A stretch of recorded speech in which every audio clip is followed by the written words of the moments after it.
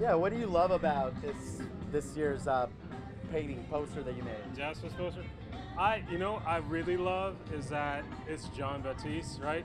Because his energy embodies what Jazz Fest is all about. You know, he embodies New Orleans. You know, and you can see it in his face. You know, it's, it's typical that he does this the thing where he goes around and creates a second line. He did it in New York. You know, uh, bringing New Orleans to New York. I think probably if, if I were to have an exhibition in New York, it wouldn't do exactly what he does, you know?